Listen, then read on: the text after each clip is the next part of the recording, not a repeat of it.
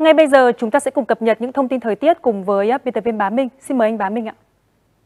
Vâng, từ chiều nay thì một số nơi của Nam Bộ đã xuất hiện mưa rông rồi ạ. Cụ thể là mây rông đã phát triển và gây mưa cho một số nơi như là Đồng Nai, Tiền Giang, Đồng Tháp, Hậu Giang, Vĩnh Long và thành phố Hồ Chí Minh. Mưa trên diện hẹp nhưng mà cường độ cơn rông mạnh còn kèm theo cả sấm sét dữ dội. Thậm chí tại thành phố Thủ Đức thì mưa to dồn dập trong thời gian ngắn còn gây ngập úng cho một số tuyến đường trũng thấp. Nước ngập nửa bánh xe khiến các phương tiện di chuyển rất khó khăn, có người phải xuống dắt bộ.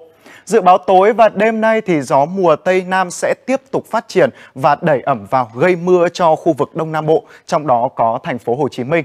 Cảnh báo là có nơi mưa to, tiềm ẩn nguy cơ đi kèm gió lốc và sấm sét. Vì thế trước khi đi ngủ thì quý vị nên đóng kín cửa sổ, tránh bị mưa hắt ướt phòng và rông gió giật mạnh vỡ cửa kính. Thành phố Hồ Chí Minh khả năng sẽ mưa rông sau 0 giờ đêm, còn trước đó thì trời khá oi bức với nhiệt độ luôn từ 28 độ C trở lên và độ ẩm cao tới 94%. Trở ra phía Bắc, thủ đô Hà Nội tối và đêm nay cũng oi nóng vì trời lặng gió, độ ẩm cao tới 92% và nhiệt độ thì trên 29 độ C. Khả năng phải chiều và tối, mai thì khu vực này mới có mưa rông giải nhiệt. Còn bây giờ xin mời tiếp tục các tin tức khác của chuyển động 24 giờ.